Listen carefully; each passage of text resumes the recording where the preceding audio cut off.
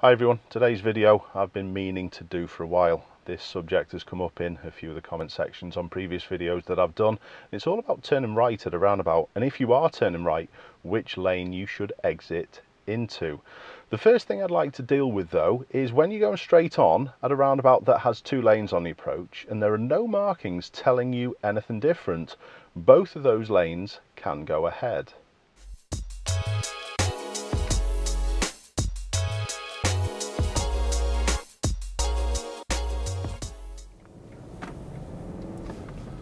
So I'm just going to go ahead. Um, like I said, there's no markings and both of these lanes can continue. So I could have a car to my right hand side, which could comfortably go to the exit that I'm going to as well. I'm going to stay round this left side. But at this point, I cannot, in this left lane, go further round. I can't go past the straight turn, and that's key. So now I'm going to approach the roundabout and I'm going to turn right. And what we just said about the left lane that can't continue further past than 12 o'clock is key to why we need generally, unless road markings tell, you, tell us otherwise, the right lane to do a right turn. So I'm going to do a right turn. Now, we keep to the inside this time, pretty obviously. But just remember, the left lane shouldn't be coming further round. So this left side of me is clear. So I'm going to check, signal, and I'm going to slide across and exit into the left lane to come off. And that's what you should do. But there have been a few people who have said to me that you should go round into lane two. So let's go back round and I'm going to show you why that could be a problem. It also could be a save, but also could be a problem. So we've got a different roundabout that I'm turning right at, but still the same things apply. Now, what I'm actually going to do on this one, I'm going to turn right, but I am going to exit into lane two. I'm going to finish not sliding across. I'm going to keep to the right hand side. But there's a reason for this. I'm still going to signal at the correct time. And the reason for this is because I'm going to turn right at this one. So you can exit into this right hand lane if you're going to do a right turn further up. But at the next one, I'm going to do the same thing. I'm going to exit into lane two, but this time I'm not going to be turning right further up.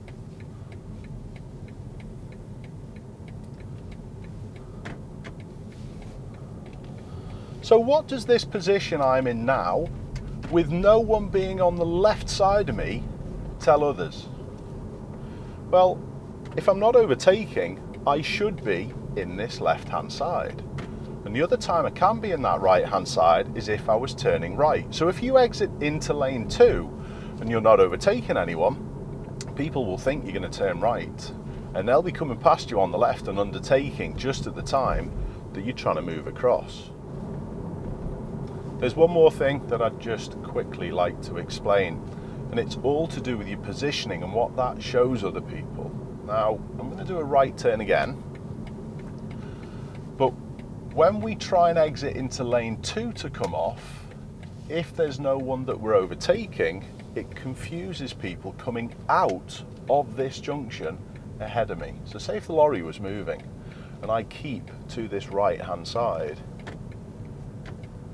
even the Mini behind may very well think I'm going further round and start to come past.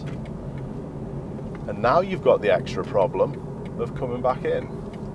So your position that you take up, if you're going to exit into lane two and you're not overtaking people, is just a big mislead. So just remember, if you are turning right at a roundabout, unless road markings tell you something different, you can and should slide across to the left lane to come off. Remember, you've always got that option of going into lane two if you really need to. If there was someone to your left hand side doing the roundabout wrong, which we do see all the time, you could exit into that lane too, or like I've demonstrated, if you're turning right a little bit further up, great, use lane two. But if you're not, all you're going to do by exiting into that second lane is literally confuse people. You are going to encourage cars to exit from that straight on road, maybe try and think that they can use that left lane, which they shouldn't do. They should give way to both lanes as they're approaching the roundabout. But you may encourage people to come out um, and it just increases risk. So learn how they work, practice, give it a go. Um, make sure things are safe when you are practicing. If you've ever in doubt, remember you've always got that option as well of going all the way around the roundabout, which isn't a problem. I hope that helps. Keep safe, and I'll see you soon.